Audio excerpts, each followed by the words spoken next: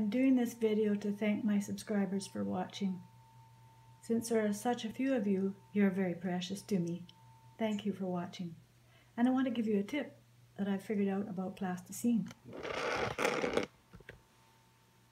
Instead of buying an expensive holder for my ink bottle, I wrap a roll of plasticine around the bottom and that is secured enough so that I don't have to worry about any flips, accidental nudges of my ink bottle. It's not going anywhere.